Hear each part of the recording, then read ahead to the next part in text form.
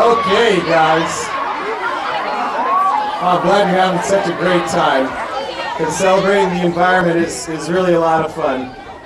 This next song is called Greenhouse Glasses. Let me get my greenhouse glasses so I can see my greenhouse gas. We're, we're sort of making fun of, of the greenhouse effect here a little bit by wearing these clown glasses and these molecules here.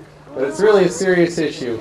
And what's going on is that from burning fossil fuels, which are like gasoline and oil, and from all of our cars and all of our factories, we're putting a lot of this molecule and some other ones into the atmosphere. Can anyone tell me what this molecule is? Yeah. CO2. CO2. There's another name for it. Does anybody know what it is? Yeah.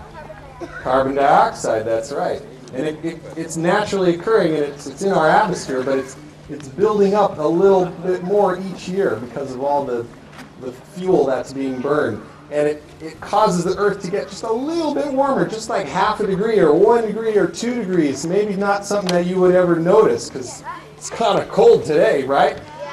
But it affects our planet as a whole.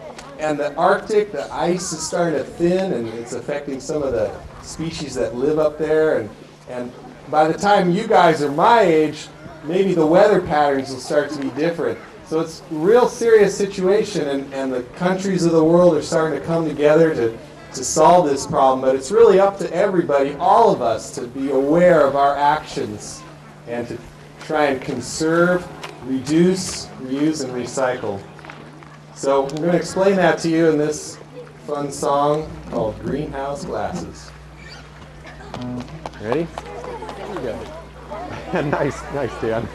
One, two, one, two, three.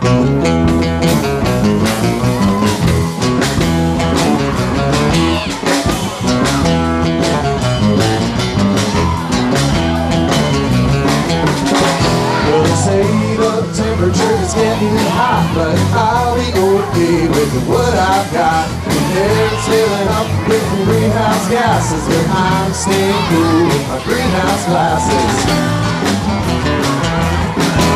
I've seen more of them this year than the last, cause fossil fuels are burning fast. I wish